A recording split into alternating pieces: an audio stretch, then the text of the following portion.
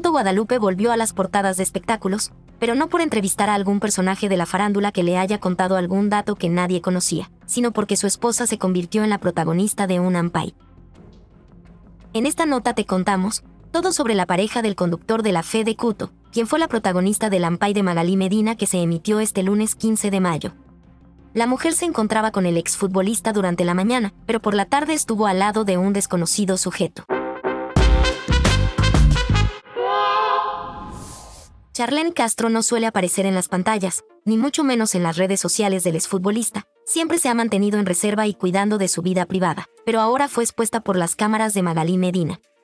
La tarde del lunes 15 de mayo, a través de sus redes sociales, Magalí Medina anunció un el que implicaba a la pareja de un reconocido futbolista, quien había sido captada saliendo de un hotel con un misterioso hombre. Pareja oficial de futbolista histórico y carismático que hoy se luce como conductor sale de hotel con misterioso hombre, mencionó la voz en off del avance. Tras el anuncio, las redes sociales estallaron y comenzaron a tratar de adivinar qué conductor y futbolista sería el implicado. Nombres como el del Checho Ibarra, Paco Bazán, Juliño y el propio Cuto fueron mencionados, pero este el último fue el que realmente está dentro de este triángulo amoroso. El último jueves 27 de abril, Charlene Castro se lucía junto al Cuto Guadalupe por San Miguel y se mostraban muy felices como toda una pareja estable. Nada hacía precisar lo que pasaría después. Lo mismo sucedió el jueves 11 de mayo, primero dejando a su hijo en el restaurante de su pareja. Por la tarde, a las 3.10 pm, apareció en Barranco, a donde llegó a bordo de un taxi, pero se bajó tres cuadras antes del hotel donde ingresó y se hospedó durante el día.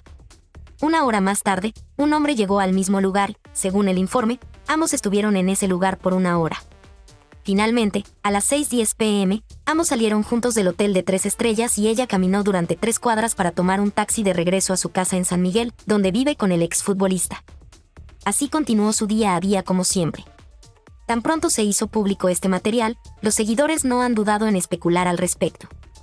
Diferentes nombres vienen siendo mencionados en las redes sociales. Yuliño, Paco Bazán, Sergio Checho Ibarra y Luis Cuto Guadalupe son algunos nombres que saltaron a la palestra.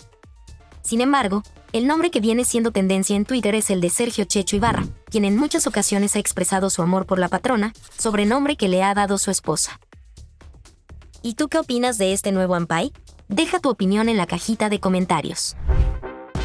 Si te gustó nuestro contenido no te olvides de darle manito arriba, suscríbete al canal y activa la campanita para estar al tanto de más notas como esta. Nos vemos en un próximo video. Cuídense mucho. Chao.